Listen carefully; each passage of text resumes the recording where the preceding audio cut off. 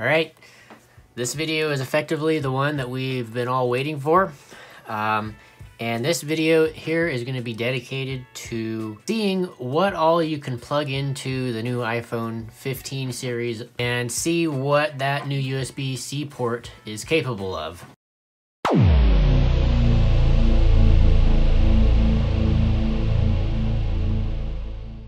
So theoretically, everything that I plug in in this particular video should carry across to the entire iPhone 15 lineup, ranging from the standard iPhone 15 and 15 Plus, as well as the 15 Pro and the 15 Pro Max, which the Pro Max is the one I have here. The only difference is the transfer speeds will be slower on the regular 15 phones, whereas on the Pro phones, uh, the transfer speed is the full 10 gigabits a second, uh, USB 3. So let's go ahead and get started. Um, I have basically a wide range of various things on my desk here that I'm going to just basically be plugging into the iPhone via that USB-C port and see if it works and what does not work. So there's a few things that are unique here so you can plug in normal things uh, but there's also the ability to do reverse charging, uh, which is also a really nifty thing. So uh, we'll also get to that in just a second and demonstrate that. But so anyway, let's go ahead and get started with something fairly easy. Uh, and that would be to start off with this here. Uh, this is a standard SD card reader that has a USB-C port on the one end.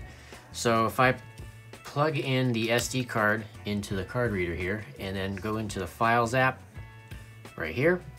So plugging in the SD card, let's see, we plug it in and it should show up just like any other device on say a Mac or on the iPad. And sure enough, you can see right there, it shows up and it's labeled untitled because this particular memory card is not named. But you can go into here and you can start browsing the files on that particular SD card. Super cool. No special adapters needed. So, whereas we all know previously on iPhones that have the lightning connector, or the lightning port rather, you would have to use this really specific adapter uh, that required a power source to be plugged into it. So now though, with that USB-C port, it provides enough power to the external device uh, that'll just simply work. So again, there you go. You can go right in there, browse all the stuff in there. You can you got some images and files that you can check out. and what's cool is you can do things both ways. So you can transfer or import rather from the memory card into the phone or you can go do the reverse and export a file or something from the phone to the SD card. So it's awesome and it goes both ways and it transfers at the really high speed uh, transfer speed, which is cool.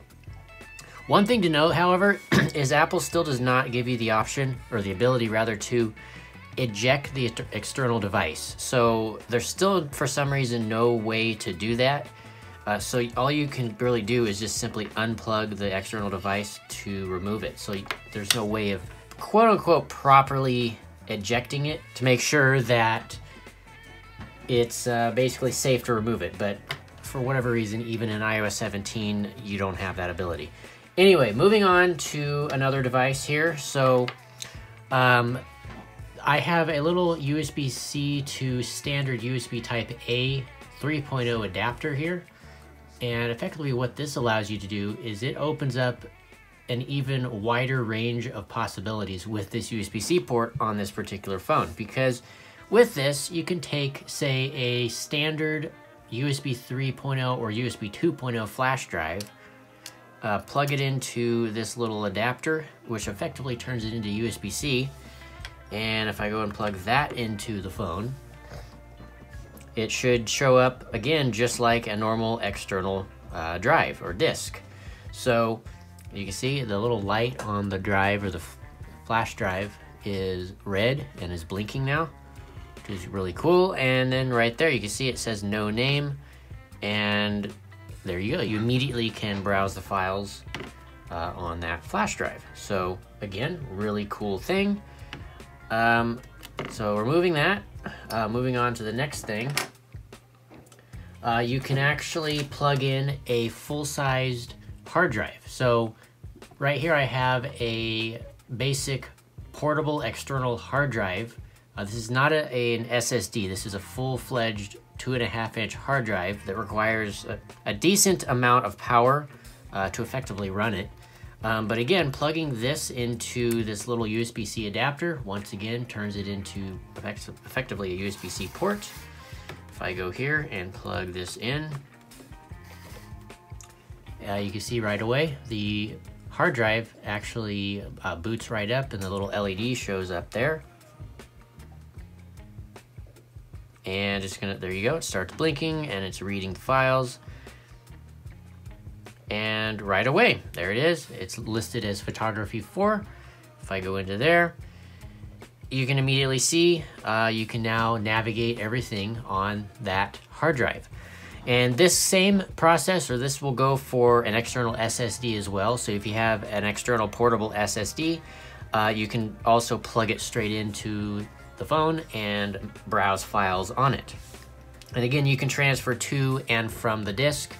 Uh, so if you want to take a file from the disk to the phone, you can do that. If you want to take a file from the phone to the disk, you can also do that. So um, to give a quick actual demonstration of taking a file, say, from the phone, let's go to the Photos app, and let's see, I want to take, say, this photo, and I want to share, save to files, and let's go to browse and find the drive. Let's go to photography 4, and let's just save it to the top end of that drive say straight away. So now there should be a new photo that I just transferred on that drive. So if I, so if I go back right over here and scroll down, you can see straight away, there's that photo that I had just now transferred from the phone to the hard drive.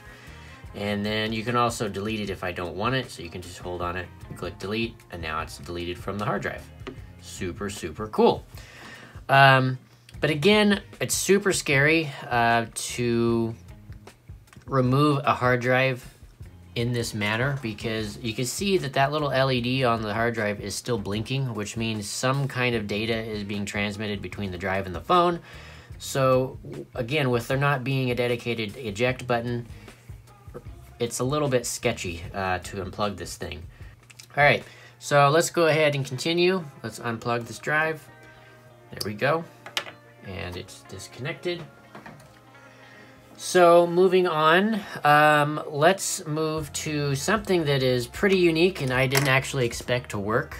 And that is a pair of desktop USB powered speakers. So you can actually plug in a pair of desktop uh, USB powered speakers right here.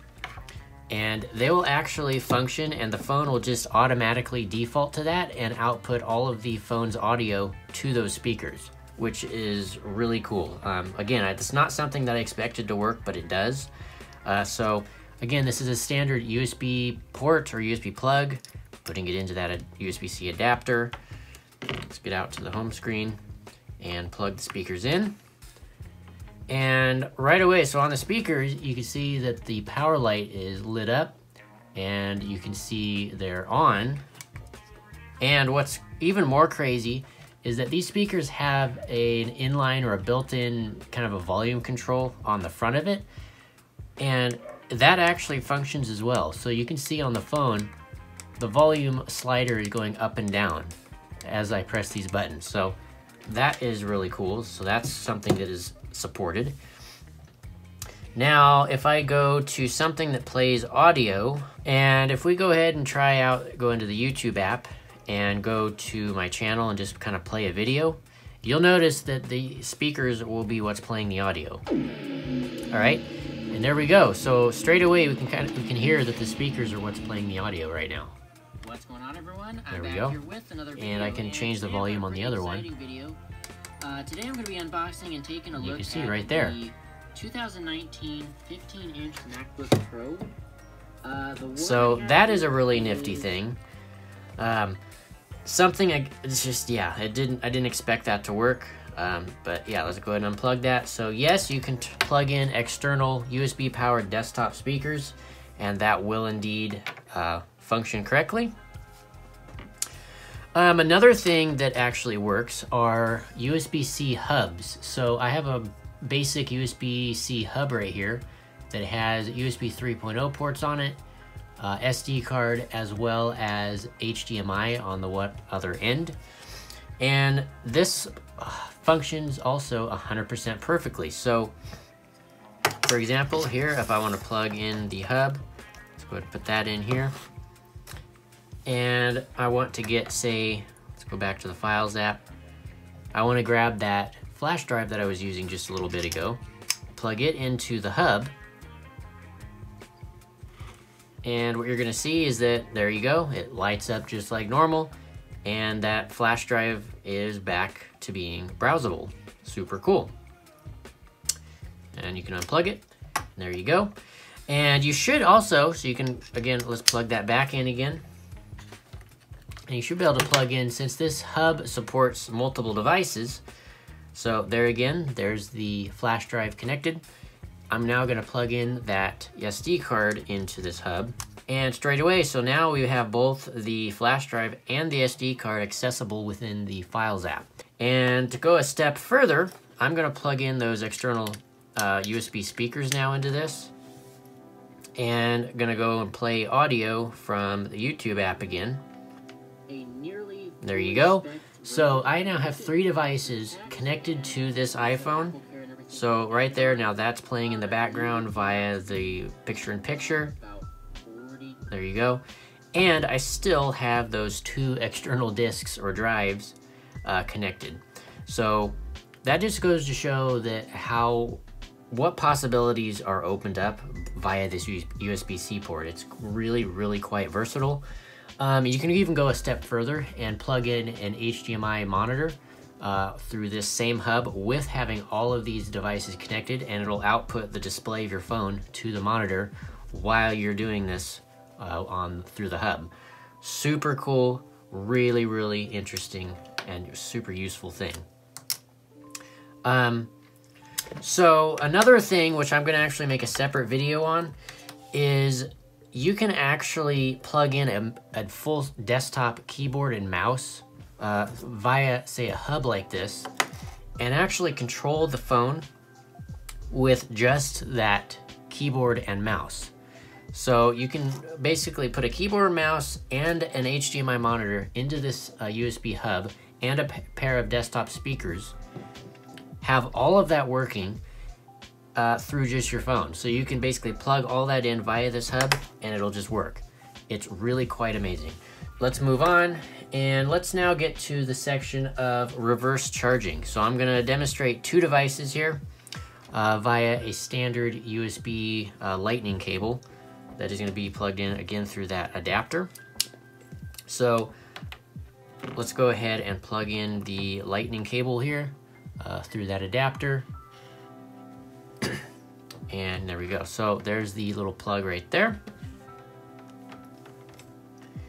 And in this case, to demonstrate the first reverse charging is my AirPods Pro. Uh, you can plug it in and you can see straight away uh, the phone is now doing reverse charging via that USB-C port to charge the AirPods. Super, super cool. Um, obviously, this is not something that you're going to want to do all the time uh, because it's going to siphon the uh, power from your iPhone's battery and shorten your overall iPhone's battery for the day. So really, if you, you only really want to do it if you absolutely need to. but anyway, moving on now here, I have an iPhone 13 Pro here, uh, which is the smaller version. It's not the Pro Max, but um, you can actually charge an entire other phone uh, via this phone. So if I plug in that cable here, you see now the 13 Pro phone is now being charged from the 15 Pro phone, um, which is really kind of cool. Again, um, you're not going to really want to do this because this phone here is going to basically take the entire battery life of the 15 Pro phone. So in this particular instance, I'm not sure why you'd want to do it unless it was an absolute emergency or you're trying to top off or give a friend of yours or a family member or something a slight bit of extra battery life for their phone, um, you could, I guess, do that. Um, but yeah, you can do that now and have reverse charging for effectively anything. You can plug in not only your uh, another iPhone or your AirPods, you can actually plug in other devices uh, through an adapter like this, or if the device supports native USB-C, um, you can charge third-party headphones that are not uh, made by Apple. You could charge an Android phone if you wanted, uh, if you needed to do that, and you could even power a laptop cooling pad or something, just things that require USB power. You theoretically could do that through this phone's uh, USB-C port. Again, it opens up quite a large variety of things that you can do. So anyway, that is effectively it for this video. Um, I know this video is somewhat long, but I kind of figured that because I wanted to kind of detail nearly everything that I was able to plug in and found that would work uh, with this new uh, iPhone with the USB-C port. One thing, however, that I found that does not work is you cannot plug in a USB printer. So you cannot print uh, files by plugging in an external printer through the USB port. Um, unfortunately, that does not work and you're still limited to using AirPrint uh, which is printing over the wireless network. Yeah, so that's basically it uh, for this video. Uh, hope you guys thought this was pretty interesting and kind of gave you guys some insight on some of the various things that you can plug into the phone. Um, and if you enjoyed the video, smash that like button, hit the uh, subscribe button as well. That is also greatly appreciated. It really, really helps the channel uh, and it helps the channel grow. And yeah, with that all being said, hope you guys have enjoyed and I'll see you guys in the next one. Peace out.